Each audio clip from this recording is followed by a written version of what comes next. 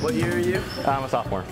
And have you played wiffle ball before? I have uh, like four years ago, I think a little bit, for like not that long, but I had fun with it. So What's your biggest strength when it comes to wiffle ball? I'd say probably uh, my consistency, whether that's striking out or hitting it like a grounder out, you know, something like that. So, yep.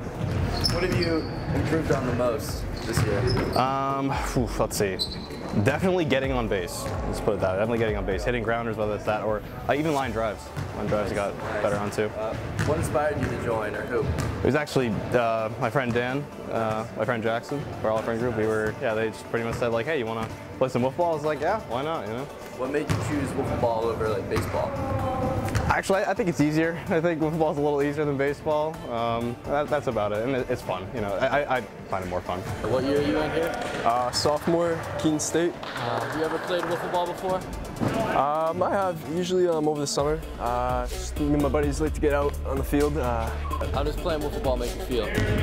uh, I love it. I mean, it's good to see uh, the community out here in Keene. Um, new friendly faces. Uh, yeah. What year are you? I'm a sophomore here at Keene. And have you played wiffle ball before? Uh, I have for fun, just throughout the summers with friends.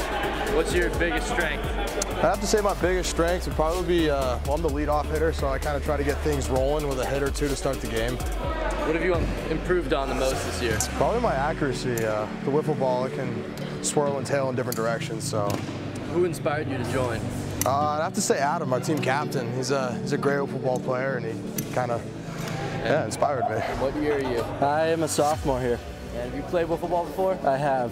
I have. What's your biggest strength in wiffle ball? My biggest strength it's got to be my hitting. Pretty good hitter. I would say. What do you think you've improved on the most this year? Oh, definitely, definitely my pitching. I mean, I was never a huge pitcher, but I mean, I'm starting to get a good feel of it now. What's your first reaction after tonight's game? Hey, it was a big team win. We played them last night, beat them last night in a closer game, 13 to 12, and now we're on to the semifinals.